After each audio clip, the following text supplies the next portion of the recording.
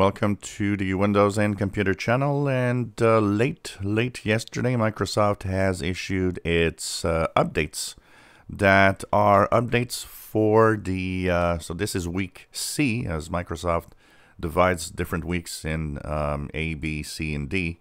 Of course, B being the uh, week where we have usually the um, patch Tuesday. Um, well, if you've had a um, if you're still on in 1909, the uh, November 2019 update, Microsoft has officially re released uh, some updates yesterday for week C, which is the week where we usually have them.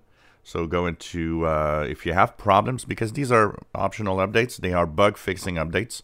So you can go and check out in Update and Security. It will appear in optional updates. You can click the download and install if you want to install them. If you do not wish to install them, then you just ignore them. So uh, basically what that is, is the uh, bug fixing updates for uh, a 1909. Of course, if you are on long-term support, 1809, 1903 uh, also have updates, but uh, these are mostly for um, the uh, version 1909 for what we look at here. So basically what happens is if you have some problems, um, I would probably say, well, apply these updates. That might actually fix some of the issues. I know that one of them has to do with also the upgrade path to uh, version 2004 or 20H2, which means that if you are on a version of Windows uh, 1909 that doesn't see the updates for the uh, you know version 2004 or 20H2 for the May or October 2020 update, it could be an interesting idea to install this. If you have no problems and uh, you see the update and you don't really care for now, you can actually ignore it. It's not going to install automatically. Uh, basically, this is really um, updates for bug fixes only, no security updates in here.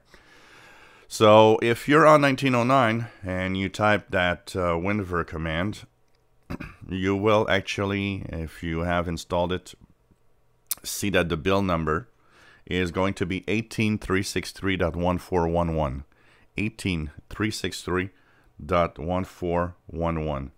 And that is, once again, only for 1909 or earlier. If you're on the May or October 2020 update, you don't have any updates this week. That's going to come later in the month. And um, of course, uh, this is really just fixing. And there's a, a big list of bug fixes actually in there. So if you have some issues, maybe it's a good idea to install it. If you have no problems at all, then um, my idea is always to ignore it. When it's not broke, you know, when it ain't broke, don't fix it is really, really a good idea also in Windows updates, especially for the optional updates. If you enjoy my videos, please subscribe, give us thumbs up. Thank you for watching.